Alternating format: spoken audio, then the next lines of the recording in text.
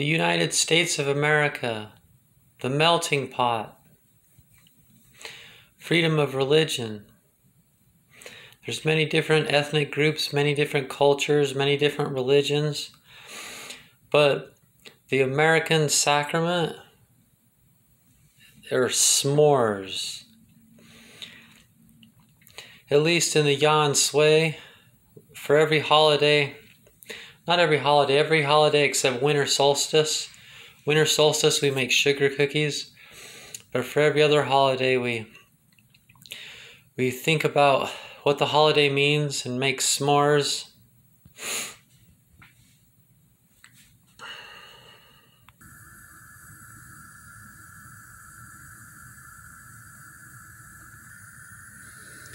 My, my grandpa used to say that a perfect roasted marshmallow has no black stuff on it. Some people just torch it, but then the inside doesn't cook.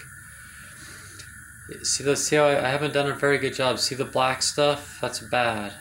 I let it. It started to burn and I blew it out. It should all look like that right there, just brown everywhere.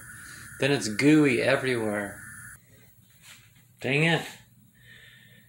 I was start. It was. I was doing pretty good, but then right at the last minute, boom! The whole thing torched up. This is okay. This is gonna be delicious. It's not bad. Now you just sandwich it between there. Perfect.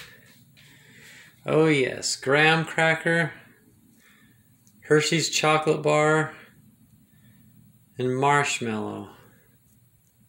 A s'more. I'll post a link of, of people in a movie making s'mores. You can see other people making s'mores. Mmm, it's the good stuff. Now we just read, for each holiday, we just read the, the two or three sentences it says for your, whichever holiday it is.